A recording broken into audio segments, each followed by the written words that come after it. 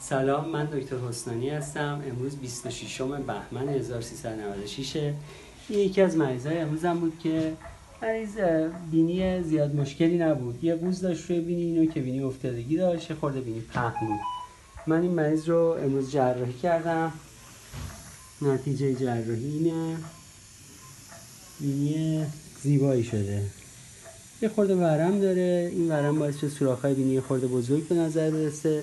ولی خب این ورم از بین میره ظرف یکی دو هفته آینده.